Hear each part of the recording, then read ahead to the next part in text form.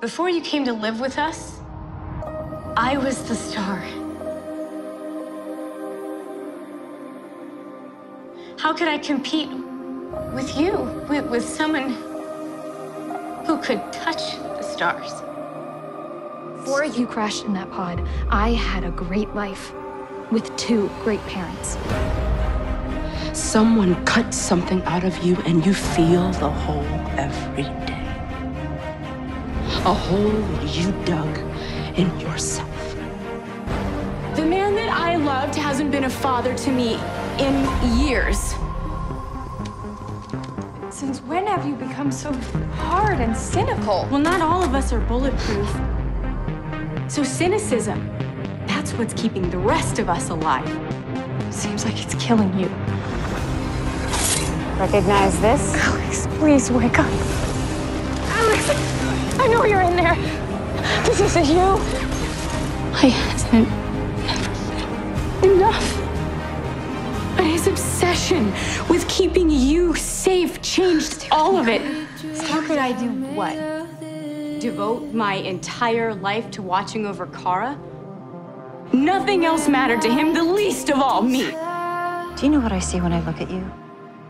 An abused child. There's never been room for you, and that's my fault. You feeling like less somehow made me feel like more. But he treated me like I wasn't even worth his time. This is rock bottom. And I know what kind of person I'm gonna be. I don't care. You don't care. You can call me Agent Danvers. Let's dance. I know you're in pain. I'm not in pain. Of course you are. Okay, stop telling me how I feel. You are the strongest of us all. Your father always said that. I have spent my entire life protecting this whole family, and I will not do it again. You always make the hard choice. How could you? You look to help others before yourself. How could you? That's what you taught me to do. You betrayed our family. Everyone that I love. Through the rage. That's your loneliness. You have always been my super.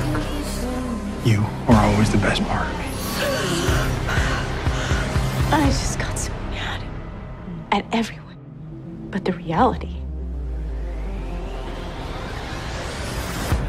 that I was just mad at myself. To change you. He wanted you to become him. But you are nothing like him. Nothing.